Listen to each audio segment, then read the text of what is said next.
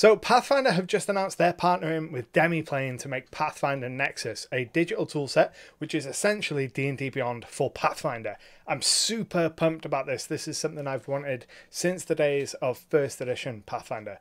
Now there are a bunch of free options that use the SRD available online, but my problem with them is that they're they never do everything and they're all really ugly and it can be difficult to get new people into it because there isn't a really easy kind of pretty place like D&D Beyond to onboard them. Well, this will solve that problem. It's being headed up by Adam Bradford from D&D Beyond and it looks like it's going to be just like that, just a really good platform. I'm super excited about it, but I would love to know what you think down in the comments below.